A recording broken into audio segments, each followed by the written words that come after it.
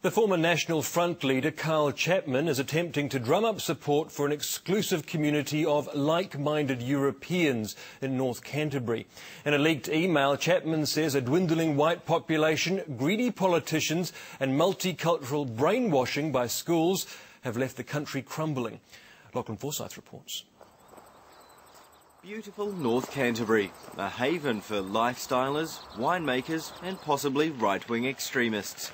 According to a leaked email from ex-skinhead and former National Front leader Kyle Chapman, what New Zealand needs is an enclave of like-minded nationalists who could, among other things, undergo survivalist training and grow vegetables. North Canterbury's had reclusive communities before. The Cooperites and their disgraced leader, Hopeful Christian, were based here for years. Chapman needs funding to create a unified mini-state for like-minded Europeans.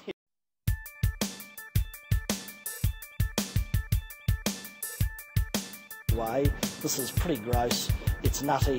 It shouldn't be taken seriously, but it is disturbing. And what I don't want to see is, you know, Mr. Chapman and his nutty skinhead friends goose stepping around.